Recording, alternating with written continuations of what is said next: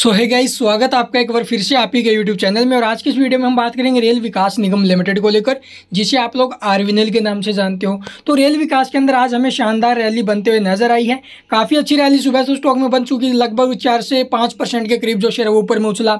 एक सौ सत्तावन साठ पैसे के लेवल आई थिंक इसने टच किए ऊपर में।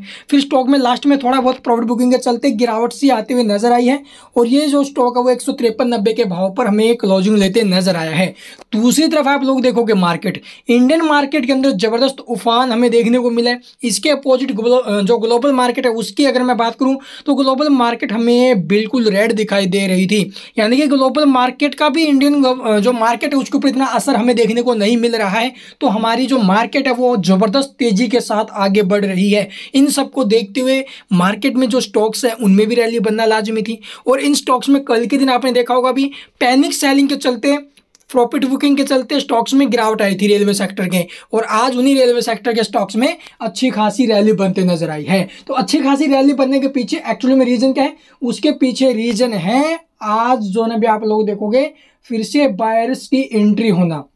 ठीक है? हाई वॉल्यूम के चलते स्टॉक में रैली बनी है। आज फिर से आप लोग देखोगे 51.5 मिलियन की वॉल्यूम यानी पाँच करोड़ पंद्रह लाख के करीब वॉल्यूम आते नज़र आई है। तो चलिए जानते भी इसके कल के लेवल्स कैसे रहेंगे। चार्ट के ऊपर क्या कुछ मूवमेंट्स थे, वो मैंने आपको हमारी सुबह की वीडियो में बता दिए थे।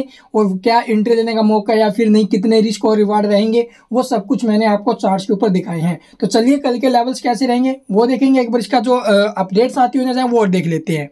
तो यहाँ पर आप लोग देखोगे बिज़नेस टुडे की ऑफिशियल वेबसाइट के ऊपर हमें ये अपडेट देखने को मिली है, जिसके अंदर बताया गया यस बैंक हो गया IRFC जीटेल infra RVNL share rally on huge volume Cochin shipyard Mazagon dock Mazagon C high turnovers तो इन स्टॉक्स के अंदर आप लोग देखोगे भी मजगांव है, ठीक है? कोचिंग यार्ड है, जो कि डिफेंस सेक्टर की कंपनी है, दोनों में ज़बरदस्त रैली कोचिंग यार्ड ने बीस परसेंट का अपर सर्किट लगाया इसके ऊपर आई आर एफ़ सी है आरविनल है कल के दिन इनमें गिरावट थी, आपने देखा होगा, स्टॉक्स टूटे थे यस बैंक भी टूटा आईआरएफसी भी टूटा आरविनल भी टूटा। आज वो जो है भी हमें रैली बनते नज़र आई है, हाई वॉल्यूम के चलते। तो इन स्टॉक्स में बायरों की एंट्री हुई है, तभी ये जो स्टॉक है, वो ऊपर की तरफ़ उछलते हुए नज़र आए हैं। चार्ट के ऊपर क्या कुछ मूवमेंट्स है, उससे पहले देखेंगे डाटा, कितना इफ़ेक्ट रहेगा कल के दिन, वो जो हमें चार्ट्स पे पता चल जाएगा। तो यहाँ पर आप लोग देखोगे भी आरएफएनएल का जो डाटा हमें देखने को मिला प्रीवियस क्लोजिंग क्या थी? एक सौ उनचास रुपये पचासी पैसे ओपन हुआ एक सौ पचास रुपये और सत्तर पैसे के भाव पर फिर स्टॉक ने जो लो लगाया, लगभग एक सौ अड़तालीस पिचानवे कहने अपनी प्रीवियस क्लोजिंग को भी नीचे में एक रुपये तक इसने नीचे में काटा था। उसके बाद स्टॉक में जो रैली बनी ना, वो देख सकते हो। हाई स्टॉक ने एक सौ सत्तावन चालीस के आसपास का लगाया क्लोजिंग हुई है एक सौ तिरपन नब्बे के भाव पर। और इसी भाव के ऊपर एक छोटा सा बाई ऑर्डर लगा हुआ है चार सौ तिरानवे का। डिलीवरी पोजिशन की अगर मैं बात करूँ तो ये बहुत ज़्यादा कम उठी है भाई। और ये डिलीवरी कम उठते क्यों नज़र आई है? क्योंकि बायर्स आए हैं भाई आज के दिन, ठीक है?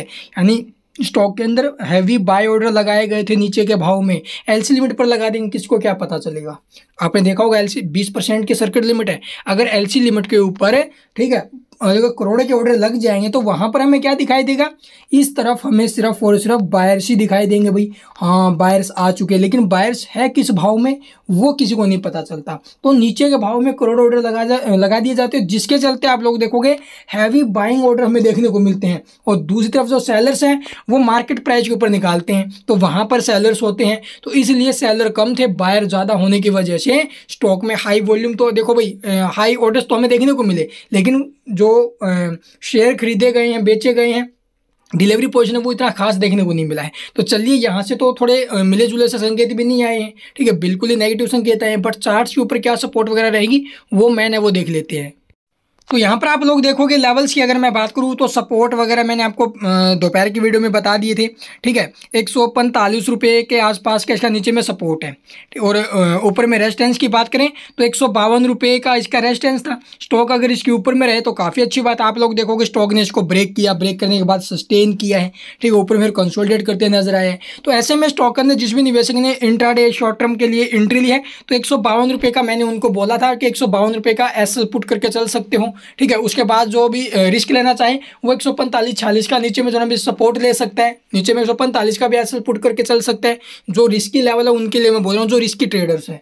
तो वो यहाँ पर ये स्ट्रैटेजी फॉलो कर सकते हैं। अभी के टाइम फ़र्स्ट सपोर्ट है एक सौ बावन का सेकंड सपोर्ट है एक सौ छियालीस रुपये तीस पैसे का। अगर कोई एसएल लेना चाहे तो एक सौ पैंतालीस का एसएल पुट करके चल सकते हैं। उसके बाद जो सपोर्ट है अगला, वो एक सौ तिरतालीस, पच्चीस का। तो ये तीन सपोर्ट नीचे में निकले हैं।